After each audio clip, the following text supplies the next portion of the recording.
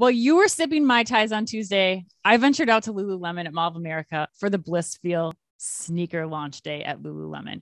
Um, just some background on the shoe for those of you who don't know. Uh, Mhm. The Blissfeel shoe retails for $148 and is the first in line of four shoes that Lululemon will be releasing in 2022. The shoe is being touted as the first specifically designed for women. They spent, uh, sorry, they being Lululemon, First running shoe, right? uh first running shoe yes but first shoe in general they're saying Oh. like this has specifically been designed for women um and lululemon spent four years in research and development to create the shoe and took over 1 million foot scans with tech partner and future omnitalk retail uh, guest Podcast interview. podcast interview volumental to make sure that they got it right before going to market um chris it was pretty incredible Yeah, talk, tell us about say. it. I mean, I you I've got thoughts, but I want to hear your thoughts. Like, what was the experience like? You it know, was insane. I got there on Tuesday morning. I made an appointment even to like try the shoes on. There people were swarming. I put a video out on YouTube and on LinkedIn. You guys should check this out to see it. But people were coming in, they were trying these on. They were not even some people were not even trying them on, Chris. They just said, "I'm a size 8.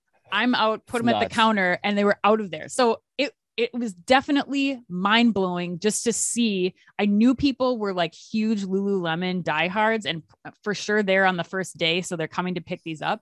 But it was pretty incredible just how many people were taking these home, and I was surprised. Even like I have to admit, I was a little skeptical ahead of time. Like "Mm, I'm pretty particular about running shoes, but they are pretty nice. They're pretty cushy. I would compare them to like a Hoka running shoe for those are familiar, um, with like a Nike top, if that makes Mm. sense. Um, Mhm.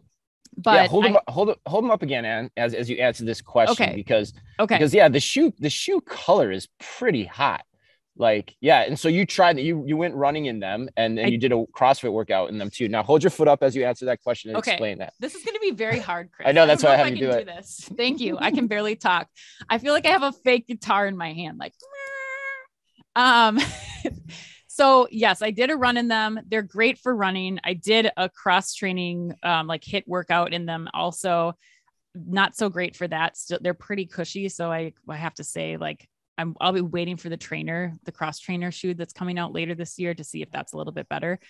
But the, I think the most important thing here is that they are doing a 30 day trial guarantee, which Hmm. you don't always see when, I mean, if you're, if you buy shoes off of Nike, you might see that option as like a Nike member. But in Mhm. most cases, when you go to Dick's Sporting Goods and stuff, like you don't get a 30 day trial. That's pretty specific to, you know, specialized running shoe stores. So you can do, you can try these for 30 days. Once you know you you're done with that, even if you don't like the color, they said you can just return them. So for Lululemon, I think it's going to be getting people's feet in shoes, and once they do, I think they're going to do much better than I expected. But Yeah, what what are your thoughts? That's I mean, awesome. I mean, I don't have much to add on it because you, you're you're living it. But I mean, the first thing I thought of when I saw your video, uh, and this one I just put my like qualitative merchant hat on. You know, I was like, "Ooh, those are hot.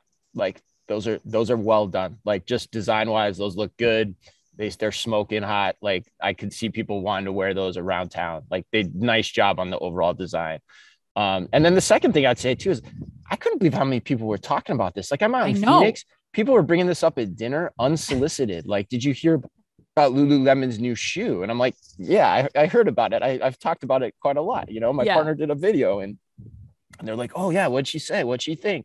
Then I started telling them about the slides that are coming and people were getting equally excited as I was last week on the show about that. So I don't know. Kudos to you for doing it, for getting out there and, and, and, you know, braving the, the, the traffic. And I can't imagine that was always the most fun thing either with all those people eagerly trying to get their shoes. But yeah, I mean, it seems like eh, from your early verdict, it seems like it's a big win and it's going Well, to be an explosive win too. And the other Yeah. thing people I would say too is a lot of the guys I were talking to were like, when are they coming out for guys? Like Yes. they were already saying that.